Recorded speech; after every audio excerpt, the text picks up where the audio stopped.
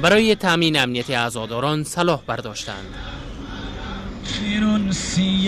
از نال شد 500 تنشان سلاح حکومتی و شماری دیگرشان سلاحهای شخصیشان را حمل می کنند سلاحایی که ما دسترس داریم اکثریت بچه های ما در نظام هست که رخصتی گرفت آمده.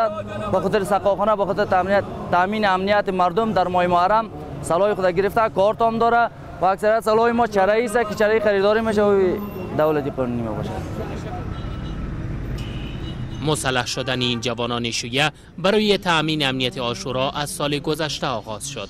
زمانی که عزاداران در ماه محرم هدف حملات انتحاری و انفجاری قرار گرفتند.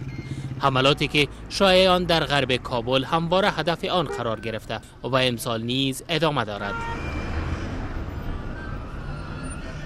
در آخرین رویداد انتحاری و انفجاری که دو هفته قبل در کلپ ورزشی میوند در غرب کابل رخ داد بیشتر از 100 تن کشته و زخمی شدند.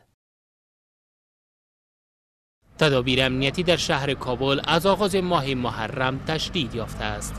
وزارت داخله سال گذشته 500 میل سلا را به دسترس اعضاداران آشورا قرار داد تا در تامین امنیتشان بیشتر بکشند.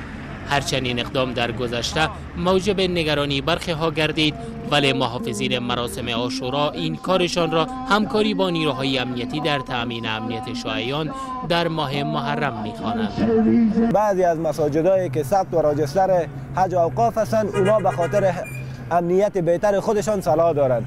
و این صلاح ها را که می‌بینین شما که در دست از این بچه ها هستند که امروز امنیت عزاداران ابو عبدالله الحسین را گرفتن این صلاح ها تمامشان ثبت و راجستر هستند و از طریق مساجد ها داده شده بر از جوان ها این به خاطر اذیت و آزار مردم هیچ نیست فقط به خاطر تأمین امنیت عزاداران و شهروندان کابل است.